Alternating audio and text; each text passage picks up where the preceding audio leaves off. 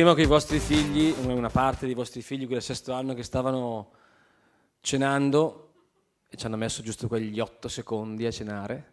Poi erano già di corsa dappertutto a gridare, a rincorrersi, eh, come è normale che sia. E mentre guardavo la loro frizzantezza, che a volte è anche un po' caotica, però è frizzante, è bello che sia così, mi domandavo magari a volte mi tiro un po' di paranoia, però era una domanda che mi sono fatto. Questi ragazzi sono tutti diversi tra loro, eh, però vabbè, hanno tutti lo stesso bisogno di essere amati e tutti cercano la stessa cosa, anche se in modo diverso, a volte consapevole, a volte inconsapevole, cercano di essere felici. E mi domandavo come farà lo spirito a parlare a questi ragazzi, visto che ognuno ha il suo linguaggio poi per me sono detto è un problema suo e io ne ho già i miei, quindi si arrangerà poi lui a fare quello che deve fare. Eh, però è, è, è, una cosa interessante sapere come, o a riflettere sul fatto che eh, ognuno di noi è unico e irripetibile, è un universo. Quando, quando parlo a, alle persone eh, cerco sempre di, di, di medesimarmi in chi ho davanti, però è impossibile pensare di intercettare le corde di tutti. C'è un modo che un po' però le accomuna queste intenzioni, cioè di, di provare a sintonizzarci, che è di far leva su ciò che per noi è più importante, ossia i legami con le persone che abbiamo accanto, che sono quelli che restano e che non vorremmo che mai andassero perduti. Eh, io auguro a questi ragazzi, ma anche quelli del settimo anno, ci mancherebbe altro a tutti, di eh, trovare la loro forma di linguaggio per, eh, per sentirsi felici, per realizzarsi, per, eh, per, avere da Dio le indicazioni per vivere al meglio la loro vita. E è un po' quello che auguriamo a tutti, ma in particolar modo a loro, visto che si mettono in ascolto di questo spirito che riceveranno nel dono del, del sacramento della confermazione e se penso anche al settimo anno, li hanno appena ricevuti. Stasera Giuseppe ci parlerà di unità e pluralismo, che sono due argomenti, due temi che eh, penso ci faccia bene approfondire, anche per il fatto che i nostri ragazzi, non da adesso, ma già da qualche tempo, sono chiamati a interloquire con una pluralità di interlocutori, eh, siano essi singoli o gruppi di persone o o ideologie o movimenti di pensiero e quindi siamo chiamati e sono chiamati anche loro a strutturarsi, a farsi un po' la loro, la loro cultura, le loro idee, avere un modo di vedere la vita. Per cui secondo me se ci aiutiamo a far sì che il volume alto dei messaggi che arriva costantemente alle orecchie dei nostri figli, ma anche ai nostri possa essere eh, decifrato e possa essere decodificato, credo che faremmo un regalo a loro. E quindi eh, se ci aiutassimo aiutassimo anche loro a capire e a scorgere questa voce dello Spirito, eh, penso che sarebbe il più bel regalo che potremmo fare loro. Allora, adesso mettiamoci in ascolto anche noi di questo Spirito chiediamogli che venga a benedire il nostro incontro e che ci dia la grazia di essere attenti gli uni agli altri. Nel nome del Padre, del Figlio e dello Spirito Santo. Amen. Vieni, Santo Spirito, illumina le nostre menti, rendici docili alla tua volontà, capaci di cogliere il vero bene per noi e per le persone che incontreremo. Sia gloria al Padre, al Figlio e allo Spirito Santo, come era nel principio, ora e sempre, nei secoli dei secoli. Amen. Nel nome del Padre, del Figlio, dello Spirito Santo. Amen. Mi ricordo Giuseppe è la seconda volta che è con noi, ce ne sarà anche una terza, e quindi stasera diamogli spazio con questo argomento unità e pluralismo. Ok, perfetto. Buonasera a tutti.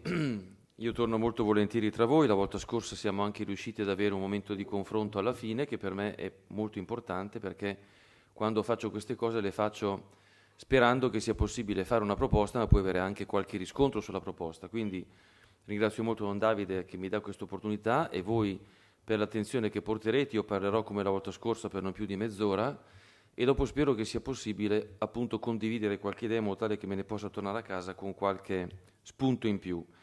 E direi che Don Davide ci ha già introdotto nel tema della serata. offrendoci due spunti che vorrei riprendere immediatamente. Primo spunto, quando si parla del rapporto tra unità e pluralismo, cioè tra unità e varietà, tra unità e molteplicità, penso che sia importante da parte nostra non raccogliere semplicemente il dato di difficoltà, perché è chiaro che mettere insieme l'unità e la varietà comporta qualche problema, ma anzitutto considerare la meraviglia che suscita constatare che siamo così diversi, ma siamo anche capaci di incontrarci, come dicevo un attimo fa. Don Davide, della seconda idea sua che vorrei riprendere, è vero che ognuno di noi è un universo. Provate a pensare, nessuno di noi ha alle spalle la stessa esperienza di qualcun altro, quindi siamo veramente unici. Ora il fatto che questa unicità non sia un impedimento per costruire qualcosa è veramente sorprendente. E penso che sia importante che noi ci lasciamo sorprendere da questo perché questo ci può motivare ad affrontare anche le difficoltà e le fatiche che si generano ogni volta che si cerca di mettere insieme ciò che è diverso. Vorrei fare poi un'altra considerazione che riguarda la natura del percorso che vi conduce qui, che ci conduce qui stasera. È il percorso della iniziazione cristiana. Nel senso che voi avete chiesto che i vostri figli siano introdotti nella fede cattolica. Ora, non so se ci avete mai fatto caso, ma la Chiesa si identifica come una comunione, cioè come una comunità. Dove sta la differenza tra la parola comunità e la parola unità, che non sono sinonime? Perché se le usiamo vuol dire che indicano qualcosa di diverso. Allora, la parola comunità non si limita come la parola unità a restituire appunto ciò che accomuna, ma afferma anche la differenza. C'è comunità ogni volta che c'è contemporaneamente l'unità e la distinzione. Allora veramente la Chiesa è l'immagine vivente di come questa meraviglia del mettersi insieme tra diversi possa prendere forma. E quando dico questo, e con questo termino la premessa, non mi riferisco al fatto che noi siamo qui diversi uomini, donne, giovani, anziani, eh, con idee differenti sul piano politico, ideologico, eccetera, magari anche potremmo avere diverse provenienze etniche, eccetera, eccetera. L'elemento che anzitutto sorprende della comunità ecclesiale è che è il luogo in cui si incontrano gli esseri umani con Dio. Allora, è chiaro che il Dio cristiano si è reso prossimo a noi e noi tra qualche giorno celebreremo la festa del Natale, che è appunto la festa che ricorda come questo Dio ha preso forma umana e tra tutte le forme umane ha scelto quella più inerme, che è il neonato. Però è anche vero che questo Dio rimane Dio. Voi ricorderete i tre doni che portano i magi? Oro, incenso e mirra. E beh, questi tre doni vanno a identificare l'originalità di questo bambino. E quindi sappiamo che la mirra che rimanda alla cura del cadavere anticipa già che questo bambino andrà incontro alla morte. L'incenso che parla del culto ci dice che andrà oltre questa esperienza di morte, ma l'oro ci dice che è Dio. Se avete presente le immagini bizantine, hanno sempre lo sfondo dorato quando dipingono la divinità, perché l'oro, in quanto non si corrompe, almeno diciamo nella sensibilità comune, tra tutti gli elementi mondani sembra quello che più assomiglia all'eternità. Questo vuol dire che veramente il primo elemento che ci deve sorprendere è che questo Dio abbia voluto scendere tra di noi e ci abbia chiamato a condividere la sua vita. Prima Don Davide parlava dello Spirito e lo Spirito che cos'è? E noi sappiamo che il mistero di Dio che crediamo è Trinità, quindi c'è Dio Padre che è il Creatore, il Figlio che è colui che della Trinità è venuto nel mondo per redimerci, ma poi è risorto ed è tornato al Padre. Chi è rimasto da noi? È rimasto lo Spirito Santo. Quindi siamo dentro una situazione dove comunque l'umano e il divino si incontrano. Ecco, penso che anzitutto è importante che noi avviciniamo questo mistero con la meraviglia. La meraviglia che provò Mosè quando incrociò il roveto ardente. Non perché questo basti, perché non è che la meraviglia rende tutto chiaro, ma perché la meraviglia motiva a non prendere le scorciatoie. E come lui si è fermato e ha cercato di scrutare in questo mistero, così anche noi dobbiamo cercare di scrutare in questo mistero, tanto più che abbiamo chiesto che i nostri figli vengano introdotti e quindi i nostri figli guardano noi e quindi guardano a quanto possa risultare per noi importante quello che tutti gli dicono che è importante. Allora, detto questo, direi ci introduciamo nel tema della serata, unità e pluralità. Vorrei farlo con voi leggendo anzitutto un passaggio del dialogo che il Papa ha tenuto con i preti e i religiosi milanesi durante l'ultima visita a Milano, perché mi sembra che sia un passaggio che nella sua, come dire, forte comunicativa, quest'uomo senz'altro un uomo che non ha problemi a comunicare, trasmette degli spunti importanti. E poi tre rapide riflessioni. Leggiamo insieme il testo.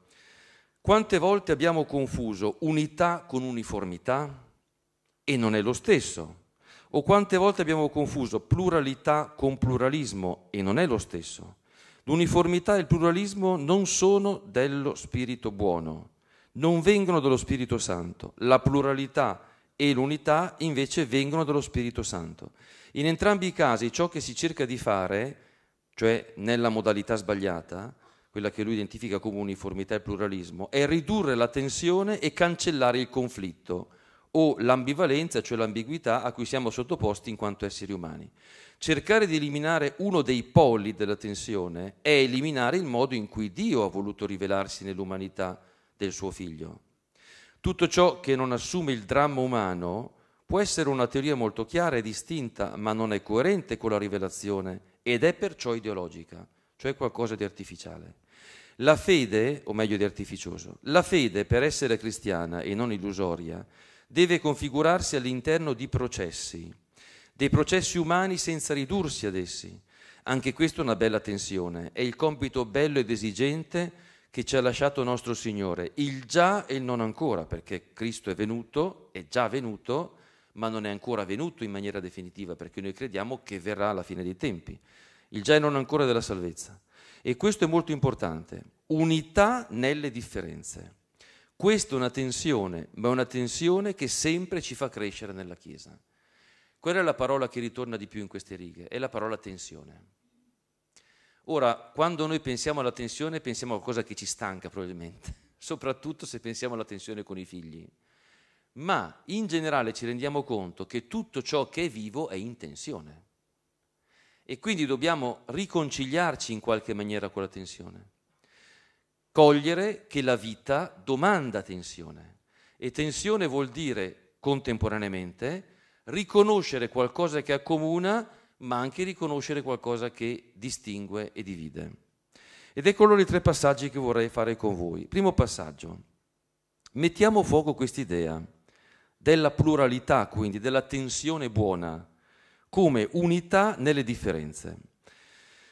Da dove possiamo partire forse per cercare di dare un criterio che ci guidi poi concretamente a vivere questa cosa? Vedremo tra un attimo nella coppia con i figli, eccetera.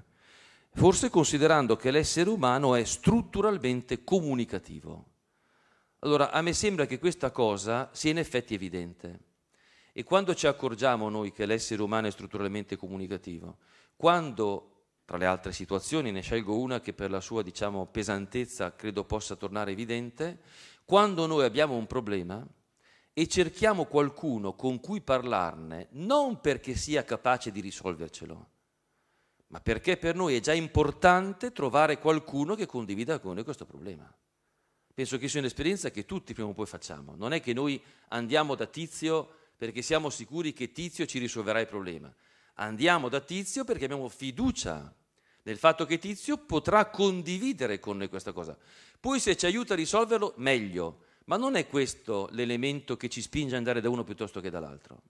Allora vuol dire che l'essere umano è strutturalmente comunicativo. Ma che cosa vuol dire comunicare? Comunicare vuol dire scambiarsi un dono. La parola comunicazione deriva dalla parola latina munus. Munus vuol dire dono. Quindi la comunicazione è lo scambio dei doni. E che cosa comporta lo scambio dei doni? Eh, comporta la tensione che dice il Papa, comporta che c'è sempre qualcosa di simile e qualcosa di diverso. Ogni volta che noi pratichiamo uno scambio c'è qualcosa di simile, perché? Perché noi ci intendiamo su questo scambio, noi condividiamo questo gesto, ma c'è anche qualcosa di diverso, perché quello che viene scambiato non è la stessa cosa.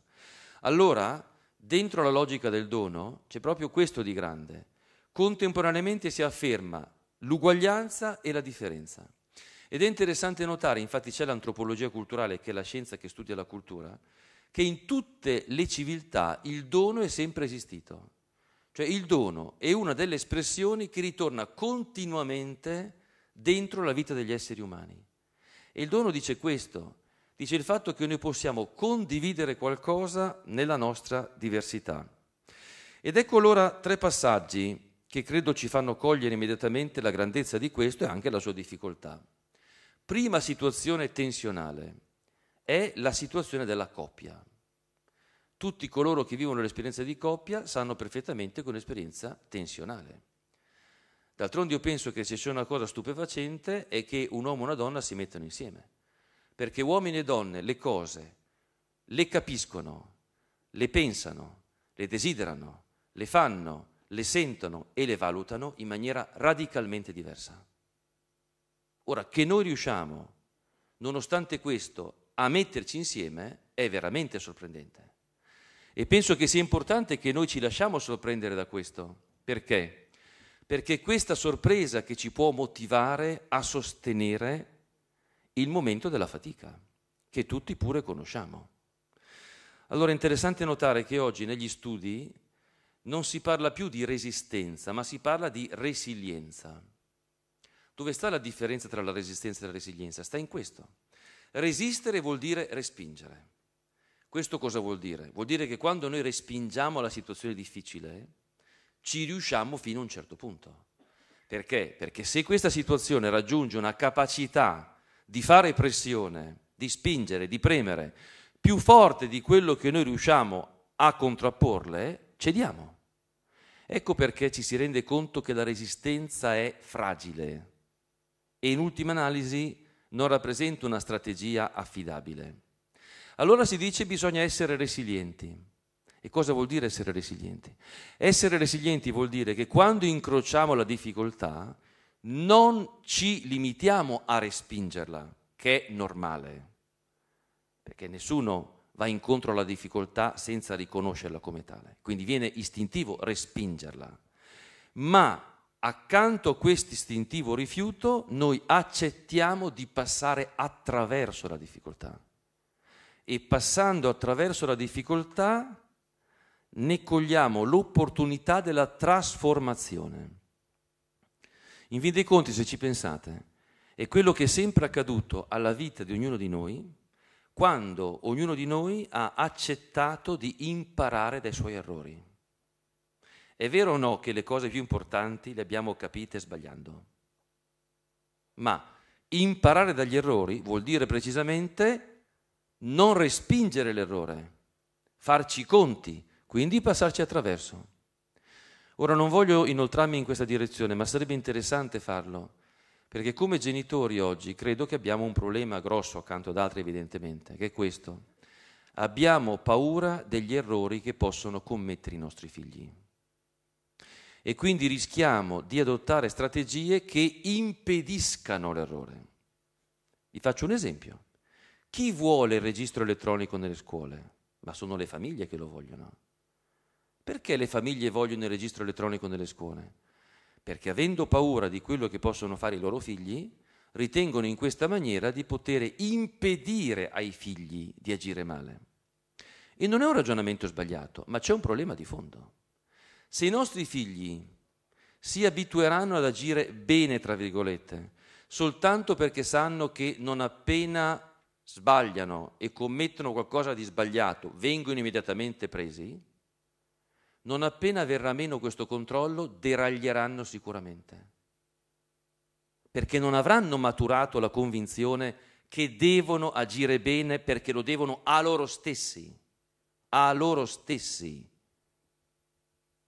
ma avranno maturato la convinzione molto più miserabile che devono agire bene soltanto perché se no vengono scoperti e vengono puniti. Capite cosa voglio dire? allora dobbiamo maturare la capacità di vigilare, ovviamente, senza impedire che vengano commessi piccoli errori. Perché l'alternativa non è tra il commettere gli errori o il non commetterli. E se uno non commetterà mai errori non imparerà niente. Voi sapete che una delle tipologie problematiche nella scuola, paradossalmente, è la tipologia dei cosiddetti superdotati. Perché? Perché quelli che non fanno mai fatica a studiare crescono fragilissimi in quanto non appena incroceranno il problema, e nella vita è difficile che prima o poi non si incroci il problema, questi non sono attrezzati per fare i conti col loro fallimento, perché non l'ha mai conosciuto prima. Mentre coloro che hanno fatto i conti con piccoli fallimenti, e beh, da questi hanno imparato che nella vita può anche capitare. E quando capita uno deve cercare di rialzarsi. Allora mi viene in mente un testo di 2500 anni fa, greco, che fa l'elogio del medico che sbaglia poco, perché dice trovare la perfezione è raro e questa considerazione è ironica naturalmente. Allora anche noi dobbiamo fare in modo che i nostri figli possano commettere errori, possibilmente piccoli, perché dal piccolo errore è possibile ricavare una lezione che può essere anche grande senza implicare conseguenze devastanti. Quindi noi facciamo i conti già a questo livello, e sono passato quindi dal discorso della coppia a quello del rapporto con i figli, con questa tensione profonda tra l'uguaglianza e la differenza. E arrivo al terzo fronte, che è quello della società. Noi siamo in un mondo che è sempre più conflittuale. E questo lo si capisce, perché è un mondo sempre più conflittuale, perché si litiga quando le vacche sono magre, non quando le vacche sono grasse. E quando le vacche sono grasse ce n'è da tagliare per tutti. E quando comincia a mancare la trippa che si litiga. Ed è quello che sta capitando. Noi stiamo entrando in un mondo dove le vacche saranno sicuramente più magre di quello che ci eravamo abituati negli ultimi trent'anni e quindi questo, questo problema sicuramente ce lo dà. Anche qui però nella società o noi riusciamo a identificare qualcosa di comune e allora potremo anche, dovremo anzi, esprimere le differenze, senza che questo comporti la dissoluzione societaria. Ma se non si riconosce più niente di comune, il rischio è che il sistema salti. E se il sistema salta, a quel punto può accadere di tutto. Quindi mi sembra che il riferimento che ci dice il Papa, ossia che bisogna vivere nella tensione, e quindi praticando una pluralità che vuol dire contemporaneamente unità e differenza, è una formidabile lezione di vita, rispetto alla quale termino con un ultimo pensiero e poi andiamo avanti, che è questo. Che cosa nella coppia, ma soprattutto nel rapporto con i figli, e mi riferisco in particolare a questo rapporto, perché credo che sia il rapporto più forte che l'essere umano può vivere noi sappiamo che il rapporto di coppia può anche andare incontro alla dissoluzione. Ma quale rapporto non va incontro se non per motivi gravissimi alla dissoluzione? È il rapporto col figlio.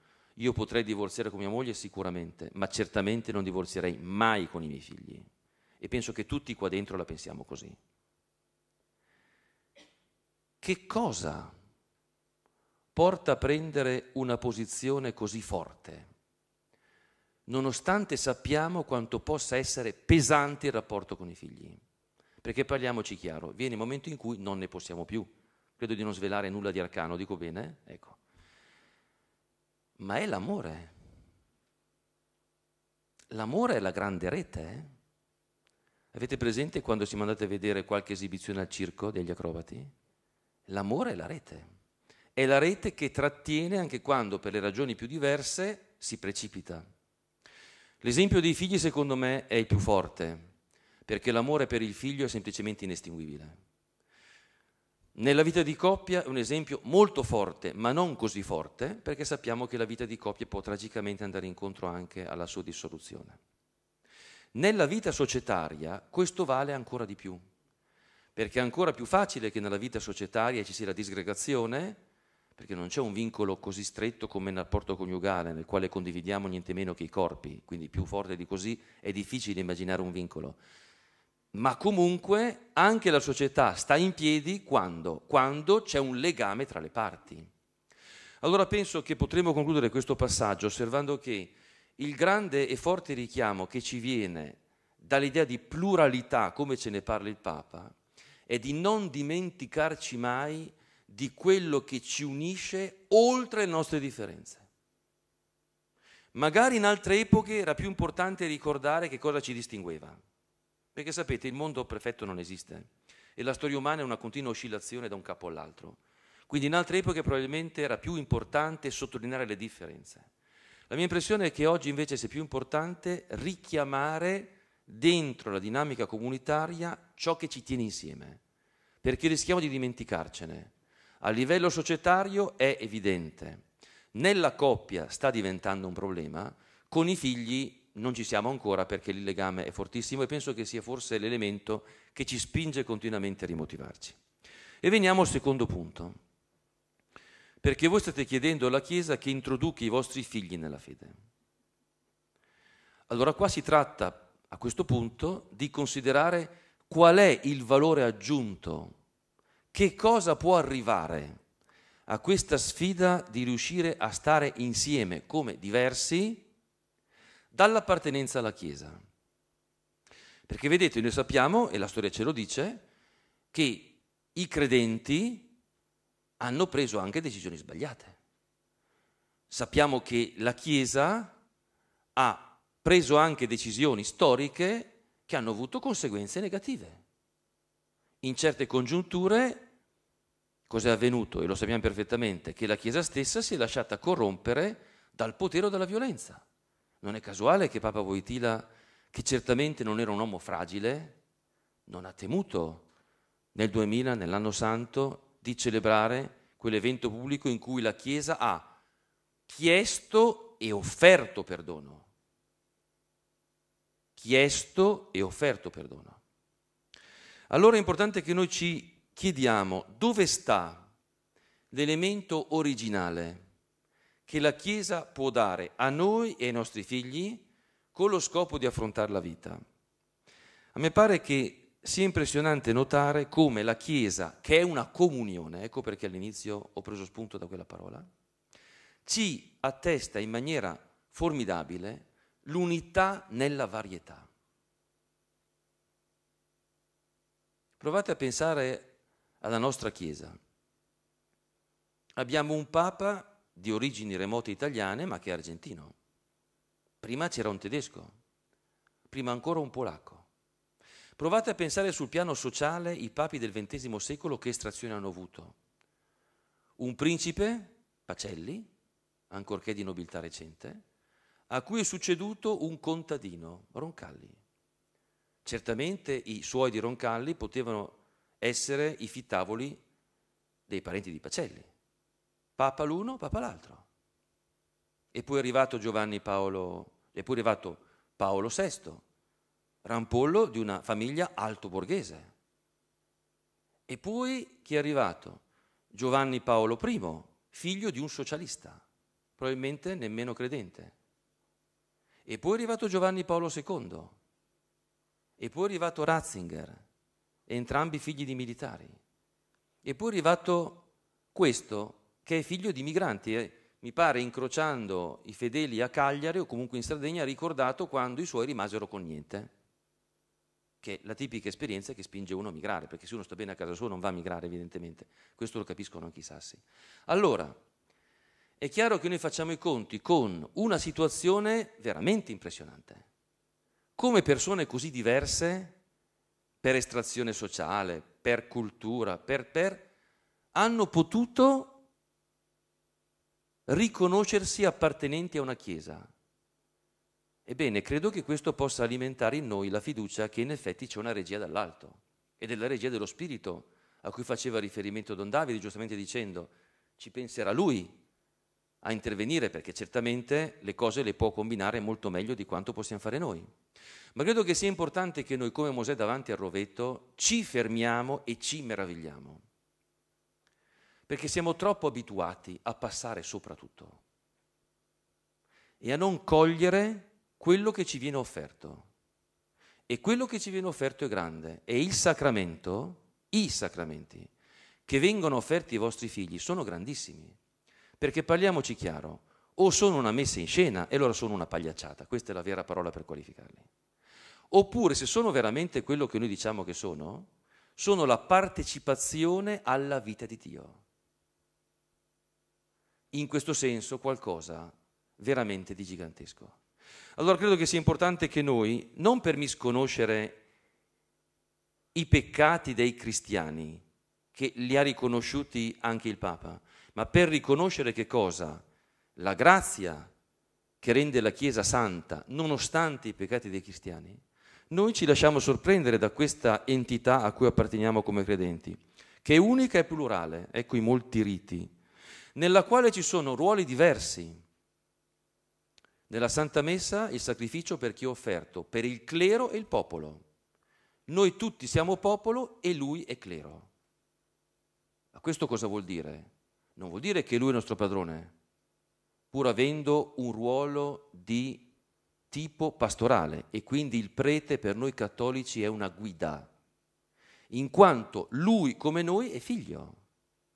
Noi tutti siamo figli di Dio e in ragione di questa comune condizione di figli siamo chiamati evidentemente a non farci le scarpe gli uni con gli altri, come si dice volgarmente. Allora, è importante che noi cogliamo quindi che i diversi ruoli, come dice Paolo, e lo dice agli inizi del cristianesimo facendo i conti con comunità rissose, questo perché ci rendiamo conto che non è stato facile per nessuno essere cristiano evidentemente, esistono per il bene comune. E sempre nella Santa Messa domenicale, dopo le offerte, cosa diciamo noi? Che queste offerte vengono presentate e ci rivolgiamo a Dio Padre per il bene nostro e tutta la sua Santa Chiesa. Noi siamo la Chiesa, ma la Chiesa non è nostra, la Chiesa è di Gesù Cristo. E quindi è importante che ci rendiamo conto a questo punto che per questa nostra comune ordinazione a Cristo che ha dato la vita per la Chiesa, noi siamo coinvolti ciascuno a fare la sua parte dentro una unità viva, cioè dinamica rispetto alla quale però se non c'è una partecipazione effettiva non c'è nemmeno il dinamismo.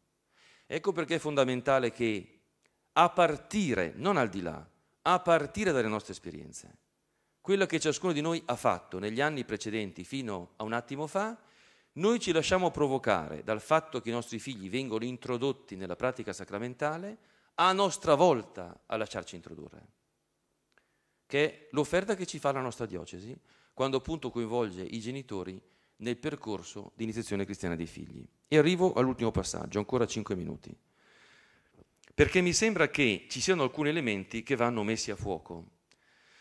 In quanto la mia impressione è questa, però poi mi piacerebbe sentirvi. Io ho 52 anni e penso che tra di voi ce ne sono molti che hanno un'età simile alla mia. Penso che noi siamo la generazione che è cresciuta più garantita della storia, noi abbiamo fatto quello che volevamo praticamente, è vero o no? Perché siamo cresciuti sull'onda del boom economico, quindi altri hanno lavorato per noi. Quando siamo venuti al mondo negli anni 60 le cose stanno già viaggiando bene. E dopo abbiamo, come dei surfisti, cavalcato l'onda. Certo, per carità, abbiamo fatto qualcosa nella vita, ci saremmo impegnati, eccetera. Però non c'è paragone rispetto alle generazioni che ci hanno preceduto quanto a lavoro, a sacrificio, eccetera. E ci rendiamo conto che i nostri figli non hanno più l'onda da cavalcare perché adesso sta arrivando la bassa marea. E quindi ci rendiamo conto che stanno entrando in un mondo molto più incerto. Ma sentite, quello che ci hanno detto i telegiornali, che la Ryanair ha minacciato quelli che non facevano lo sciopero di non dargli l'aumento, vi sembra una roba normale? Vi sembra una roba normale? Vuol dire che sta cambiando qualcosa. Normale rispetto alla prassi acquisita. Io non do un giudizio di merito specifico, io mi confronto con la prassi acquisita. Questa notizia vent'anni fa nemmeno ci sarebbe transitata lontanamente dal cervello, d'accordo? Neanche l'avremmo immaginata. Oggi invece è una notizia data tranquillamente. Allora vuol dire che la situazione sta cambiando. Questo vuol dire che dobbiamo metterci in testa che non possiamo dare per acquisite delle cose che in realtà, come insegna la storia, non sono acquisite. sono state conseguite e si possono perdere esattamente come sono state conseguite. Cioè noi stiamo constatando che il progresso non esiste. Il progresso è una sovrastruttura ideologica, non c'è mai stato. La storia dell'umanità ha sempre vissuto di passaggi in avanti e di arretramenti. Da nessuna parte sta scritto che per forza si va sempre avanti. Questa è un'illusione che si è espressa negli ultimi 200 anni e che oggi sta andando giustamente a sbattere perché non è realistica. Allora ci sono quattro concetti, con questi concludo, con cui penso valga la pena confrontarsi per cogliere quello che c'è in gioco e per cogliere quello che la nostra appartenenza ecclesiale ci può aiutare a maturare per affrontare che cosa? Quello che noi preme che possono affrontare i nostri figli, cioè la vita. Primo concetto. Il confronto, qui ho scritto pluralismo intendendo quello che il Papa identifica come pluralità, quindi la, la modalità buona della pluralità, cioè l'essere diversi e uniti insieme, e totalitarismo. Dove sta la differenza? La differenza sta in questo, che il totalitarismo esprime l'uniformità. Lo dice la parola stessa, c'è totalitarismo quando tutto viene risolto e dissolto in un'unica cosa. Storicamente il Novecento è stato dominato dai totalitarismi. Infatti è interessante che un grande pensatore cristiano che si chiamava Maritain negli anni 30 elabora l'idea secondo cui il pluralismo è il contrario del totalitarismo, perché identifica una varietà e non un'uniformità. Secondo concetto, il relativismo. Papa Benedetto diverse volte ha richiamato a non confondere il pluralismo buono con il relativismo. Dove sta la differenza? Sta in questo. Nel relativismo ogni posizione fa capo solo a se stessa e si ritiene unica, quindi rifiuta il confronto con le altre.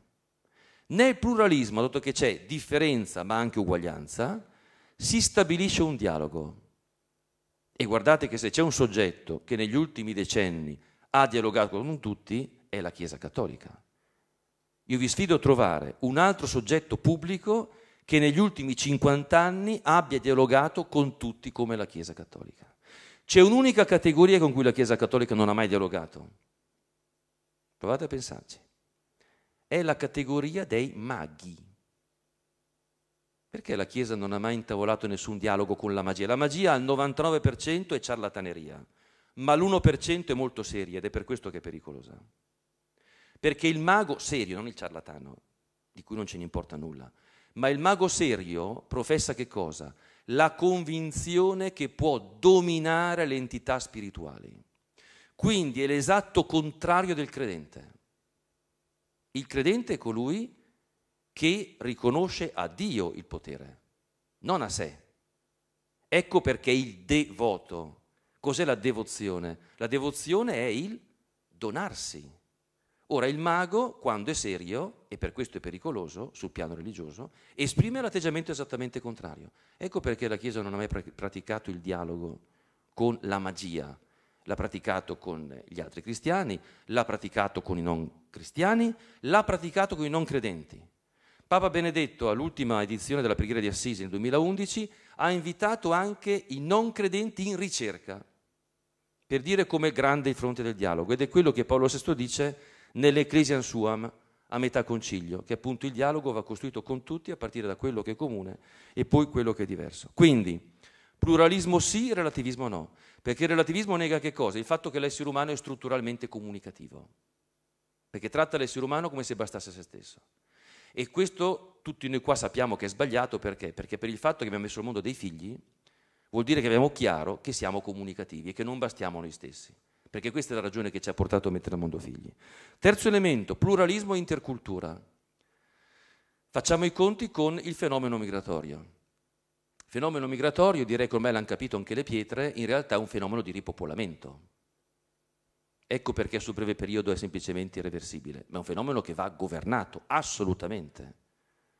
Perché nella storia non è mai accaduto che le migrazioni siano avvenute tranquillamente in quanto le migrazioni identificano l'incontro ma anche il possibile scontro. Il primo che intuì il mondo nel quale stavamo entrando si chiamava McLuhan negli anni 60 e parlò del villaggio globale, che è un'espressione che tanto, ogni tanto torna. Lui era uno, un teorico dei mass media. La cosa interessante è questa, quando lui parla del villaggio globale, non ne parla come del villaggio turistico, che è quello che noi pensiamo fino a qualche anno fa, ma dice il villaggio globale per il fatto che si incrementeranno i rapporti tra le culture, ma ci sarà anche una formidabile spinta all'uniformazione, produrrà formidabili tensioni tribali, che è esattamente quello che sta capitando. Quindi il fenomeno migratorio è certamente un fenomeno problematico, ma qual è l'unico modo che abbiamo noi per affrontare questo fenomeno? È di riconoscere accanto alle differenze ciò che unisce. E provate a pensare com'è interculturale la Chiesa Cattolica. Quindi anche qui i nostri figli vengono introdotti dentro un mondo al quale non bisogna andare a insegnare che cosa vuol dire incontrare l'altro, perché è da sempre che accade questo. Da quando il più grande immigrato della storia, che è Gesù Cristo, venendo nel mondo, è venuto a incontrare noi. Terzo elemento, il pluralismo e la democrazia. Che cosa identifica la democrazia? Il discorso è un po' complicato, però vorrei condividere con voi solo un'idea. Grazie alla democrazia siamo diventati cittadini, mentre prima eravamo sudditi. Dove sta la differenza tra il suddito e il cittadino? È molto semplice. Il suddito ha soltanto doveri, il cittadino ha anche diritti. Provate a pensarci. Il suddito ha soltanto doveri, il cittadino ha anche diritti. E noi siamo cittadini perché abbiamo diritti e doveri, se non che si sta profilando un problema. Quale? che continuiamo a rivendicare diritti e non riconosciamo più doveri. Ma io posso rivendicare un diritto nei vostri confronti soltanto se voi riconoscete un dovere nei miei eh? e viceversa naturalmente. Perché sto facendo questa considerazione? Perché ci rendiamo conto che la democrazia esiste soltanto se si riconosce il bene comune.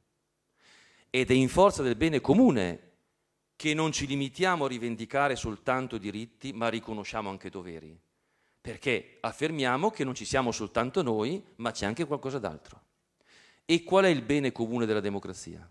Il bene comune della democrazia è l'essere umano. E quindi penso che anche da questo punto di vista introdurre i nostri figli nella fede cristiana dentro la comunità ecclesiale significa introdurli dentro un modo di guardare alla vita che gli fa riconoscere che l'essere umano è, come diceva un grande filosofo teologo cattolico Rosmini, diritto sussistente. E quindi che l'essere umano è il bene in sé nella sua forma materiale. E se loro si rendono conto di questo, contemporaneamente avranno quindi la motivazione per custodire gli altri, ma attenzione, anche per custodire loro stessi perché penso che noi di fronte alle pratiche improprie, distruttive, autodistruttive dei ragazzi di oggi dovremmo a un certo punto chiederci com'è possibile che accada questo. E forse una risposta a questa domanda è la seguente, perché questi ragazzi non hanno coscienza che devono custodirsi. Ma allora forse questi ragazzi hanno bisogno di riconoscere il bene che sono e la responsabilità che questo implica di custodirsi. Ebbene, penso che sia difficile immaginare una manifestazione più potente del bene che siamo noi esseri umani, del riconoscimento di un Dio che si è fatto uomo per venire a salvarci. Vuol dire che veramente la nostra vita ha un valore inestimabile, perché vale la stessa vita di Dio. E a questo punto, se si viene introdotti in questo, è più probabile che veniamo aiutati a non sprecarla. Vi ringrazio per l'attenzione.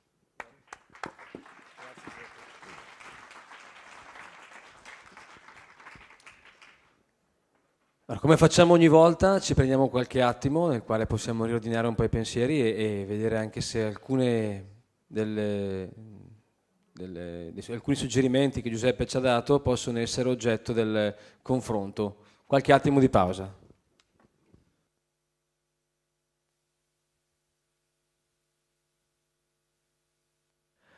Ok, ci prendiamo ancora il tempo necessario, ma penso un quarto d'ora, quello che può servire per eh, aprire un confronto in questa fase, eh, a partire anche da quello che Giuseppe ci ha detto. Quindi se c'è qualcuno che vuole eh, condividere una propria riflessione o chiedere qualcosa, può farlo. Corrado. Eh sì, perché l'altro, caspita, non riesco a metterlo a posto.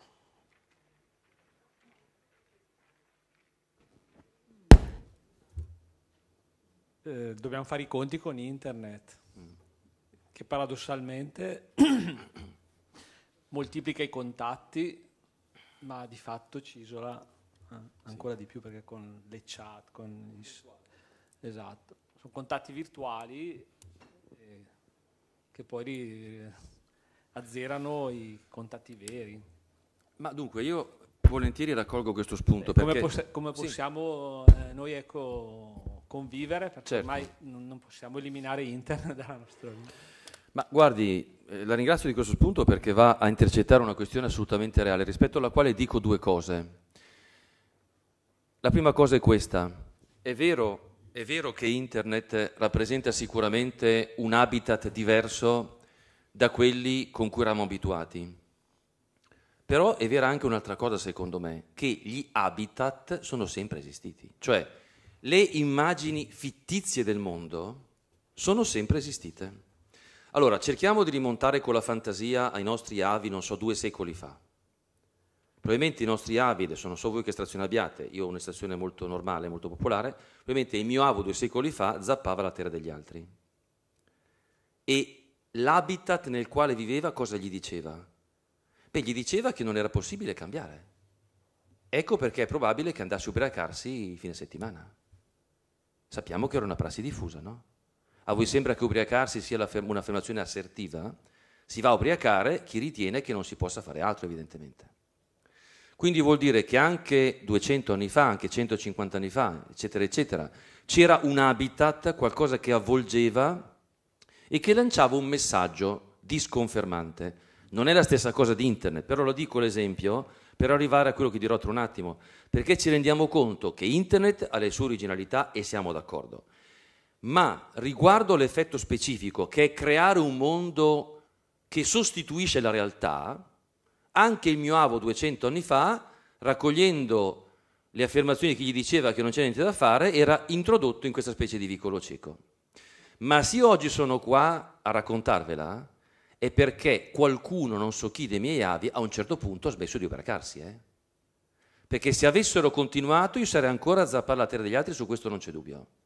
Si vede che a un certo punto qualcuno ha detto, non so per quale motivo, ha pensato che un'alternativa era possibile.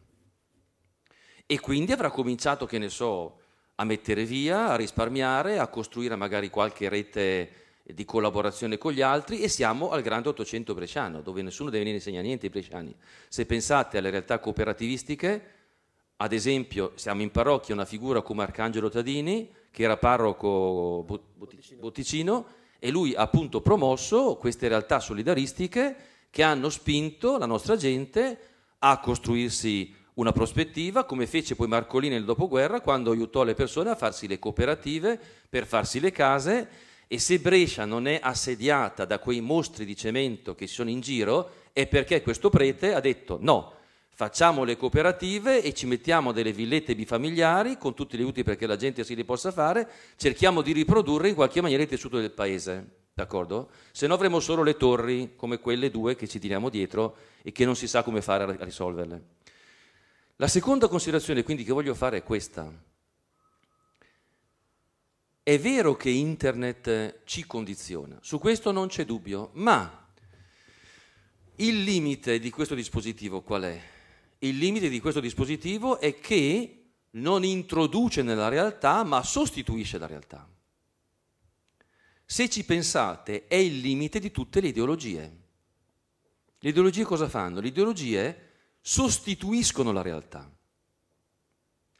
Allora, se vogliamo veramente affrontare internet, eh, dobbiamo partire da un presupposto, e qui mi permetto, dire, di, di interloquire in maniera un po' critica sul suo passaggio. Non è essenziale, esattamente come non sono essenziali i mass media.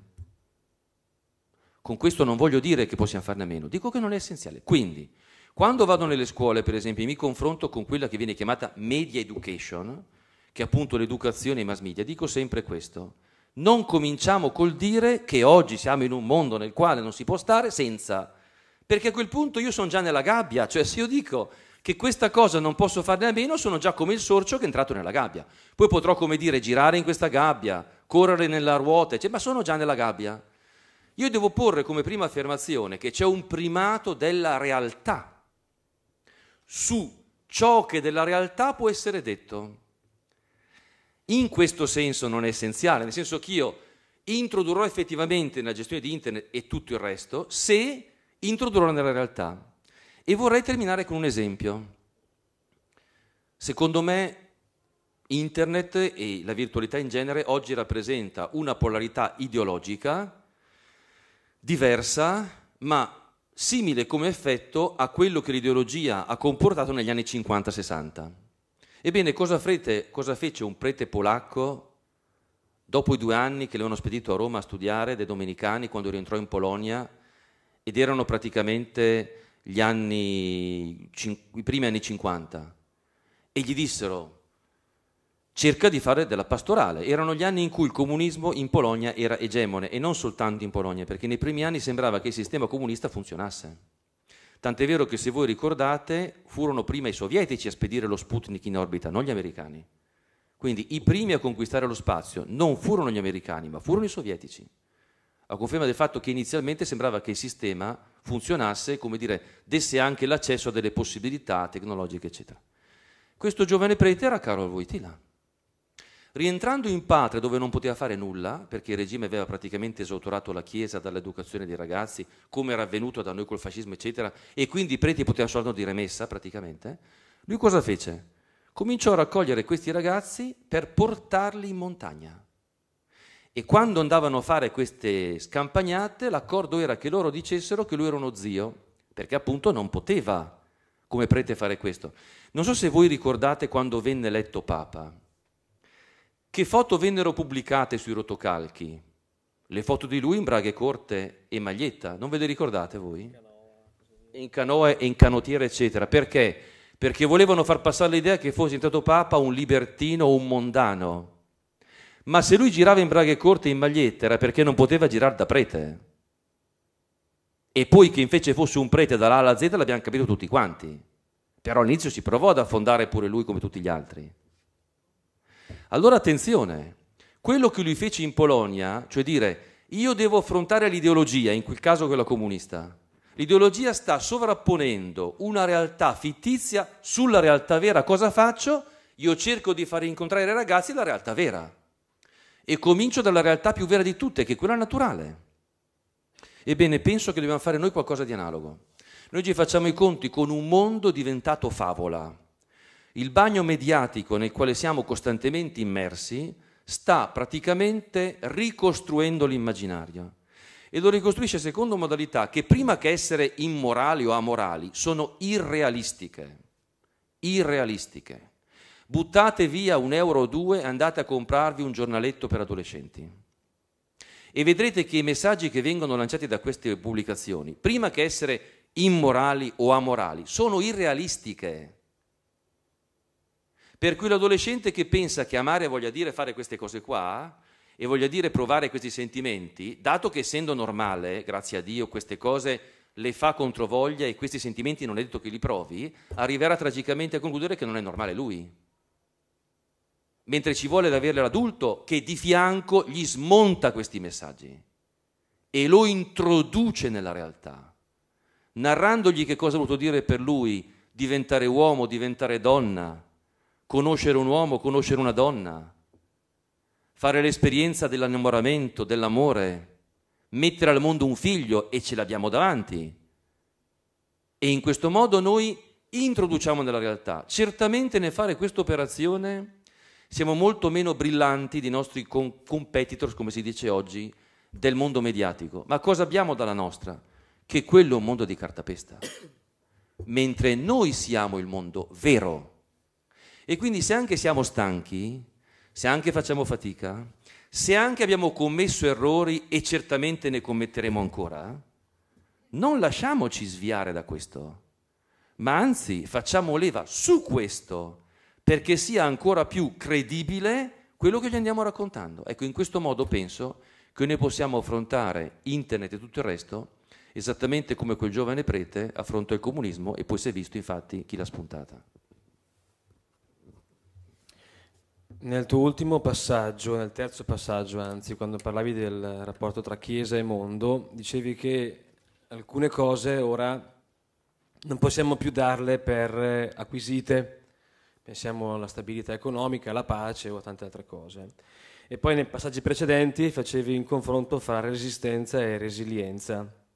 Ecco, io questo direi di fronte al fatto che ognuno di noi fa fronte alla propria complessità del vivere e anche i ragazzi fanno fronte ad alcune difficoltà e se sono sempre meno abituati a affrontare difficoltà si troveranno a vivere situazioni di resistenza o di resilienza. Però in questo caso faccio un, un, parallelismo e dico, noi normalmente di fronte al male eh, ce ne lamentiamo. La lamentela è comprensibile perché è la nostra volontà di respingere il male, però la lamentela non ha mai risolto nessun problema nel senso che è fine a se stessa nella misura in cui non fa un passaggio in più, un passaggio saggio, che è quello di chiedere aiuto.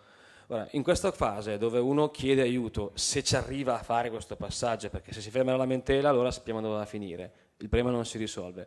Ma quando vuol chiedere aiuto, a volte vedo che c'è anche qui una distinzione di questo passaggio che porta un, eh, un versante a fermarsi alla pretesa, e dall'altra parte invece c'è un versante che potrebbe essere quello del eh, aprirsi al dono dell'aiuto. Come possiamo fare per mettere in risalto il fatto, primo, che lamentarsi fine a se stesso, comprensibile, ma una persona saggia va oltre. Secondo, quando però chiedo aiuto, e anche qui devo fare attenzione, o pretendo o mi apro al dono, e qua c'è una bella differenza. Grazie, anche questo è un bello spunto. Io penso che ci viene in soccorso un richiamo, eh, diciamo, ormai ricorrente se c'è un richiamo che sta solcando tutta la storia della nostra Chiesa degli ultimi 50 anni, cioè da quando venne celebrato il concilio, è il richiamo della misericordia. Provate a pensare, Papa Giovanni aprì il concilio dicendo che la Chiesa voleva utilizzare la medicina della misericordia. Salto tutti gli altri e arrivo all'attuale che dice appunto che la Chiesa deve annunciare la misericordia. E uso un'immagine che è quella dell'ospedale da campo, che ha una formidabile somiglianza rispetto a quella di Papa Giovanni, perché parlare di medicina della misericordia e di ospedale da campo che cosa postula? È postula che ci si confronta con la malattia, perché le medicine le prendono i malati e certamente in ospedale non ci vanno i sani. Quindi è un richiamo al senso del peccato. Cioè la misericordia ha un significato soltanto se si presuppone il riconoscimento del peccato. Allora direi che questo annuncio ha qualcosa di potente. Non può essere casuale che negli ultimi 50 anni tutti i papi che sono, sono succeduti pur così diversi hanno battuto lì.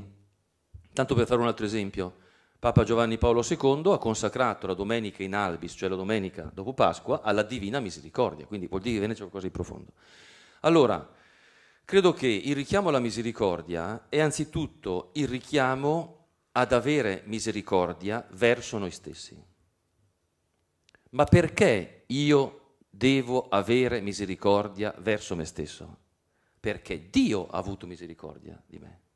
Cioè ancora una volta l'atteggiamento che mi guida nell'abbracciare una disposizione di un certo tipo è conseguente al fatto che io riconosco che Dio per primo me l'ha testimoniata. E perché è importante che abbia misericordia di me? Perché è l'unico modo che ho per sfuggire alla presa della competizione. Fateci caso, l'elemento che sta esplodendo nel nostro mondo è la competizione. Ma perché i nostri ragazzi non scelgono più niente? Perché hanno paura di sbagliare. Perché fanno fatica a decidersi? Perché fanno fatica a sposarsi esattamente come fanno fatica a diventare preti o suor? Perché hanno paura di sbagliare. E quindi le decisioni definitive, almeno nelle intenzioni, non si riescono più a prendere. E perché c'è paura di sbagliare? Ma perché in un mondo competitivo che cosa si deve temere più dell'errore, scusate? Eh? In un mondo competitivo non c'è la seconda opportunità. Eh? In un mondo competitivo o si è in gioco o si è fuori gioco.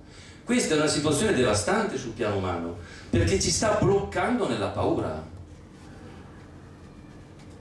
Perché dobbiamo respingere la paura? Perché la paura è il sentimento dello schiavo. Noi non siamo liberi per il fatto che possiamo scegliere quello che vogliamo. anche perché alle volte può accadere, quasi sempre avviene, che quello che pensiamo di scegliere noi è stato già scelto da altri. Certo, io vado al supermercato e ho 20 metri di biscotti tra cui scegliere e quindi posso avere l'illusione che sono io a scegliere, ma questi 20 metri sono stati scelti da qualcuno rispetto agli n metri ipotetici di biscotti che ci potrebbero essere. È molto povera l'idea di libertà come facoltà di scelta tra alternative. In realtà io sono libero quando riconosco di avere una dignità e per il fatto che una dignità non mi faccio vincere dalla paura. Perché la, la persona che ha coscienza della sua dignità potrà anche essere sconfitta, in quanto i supereroi non esistono, ma certamente non verrà mai dominata, perché la persona cosciente di avere una dignità avrà sempre la motivazione per cercare riscatto in questa dignità. Allora, ancora una volta, il messaggio cristiano che messaggio è? È il messaggio che noi siamo adottati a figli, come dice Paolo. E quindi, essendo adottati a figli di Dio nel figlio che è Gesù Cristo, acquisiamo la sua dignità. A questo punto, a questo punto siamo superiori alla competizione. E quindi, pur essendo in un mondo competitivo, abbiamo ciò che ci permette di levarci al di sopra della competizione, senza farci trascinare nella competizione. E quindi ci permette anche di considerare che potremmo fallire, che potremmo sbagliare, senza che questo voglia dire il fallimento. D'altronde qual è il cuore dell'annuncio cristiano, che è l'annuncio pasquale? E non abbiate paura. Ma è lo stesso annuncio che fa il rovetto a Mosè quando gli si avvicina, gli dice non temere. Allora è fondamentale che noi ci ricordiamo del fatto che l'essere cristiani ci aiuta a vincere la paura. Se noi vinciamo la paura, possiamo muoverci anche in un mondo competitivo senza farci assoggettare da questo mondo competitivo e quindi riuscendo a costruire una vita rispetto alla quale abbiamo coscienza che vale di più del fatto che possa essere anche una vita che ha le sue fragilità. A questo punto, quando io riconosco che ho bisogno, posso avvicinare senza temere di chiedere aiuto. Perché? Perché questo passo lo faccio motivato dal fatto che la mia fragilità esiste, ma Dio mi ama come sono, essendo quindi fragile, perché io possa essere dal suo amore rigenerato e quindi aiutato a sollevarmi. Quindi penso veramente che la fede sia essenziale anche per alimentare la resilienza. D'altronde, qual è l'espressione tipica della spiritualità cristiana che possiamo associare alla resilienza? Provate a pensarci. È una frase dura, ma è una frase che quando viene presa sul serio e quando viene praticata può creare dei mutamenti giganteschi. È l'invito ad abbracciare la croce. L'invito ad abbracciare la croce non ce lo fa Gesù Cristo perché è masochista e quindi desidera che noi soffriamo per il gusto di soffrire, ma ce lo fa perché Lui, nel modo che ha avuto di vivere la croce, ha testimoniato che la croce è un evento d'amore e quindi ci invita facendo leva sulla croce come evento d'amore, che è durissimo evidentemente, ma se Cristo ha sudato sangue nel Getsemani ci sarà pure una ragione, vuol dire che era dura anche per lui, in forza di questo ci invita a non rassegnarci al male, ma a vincere con il bene il male. Grazie.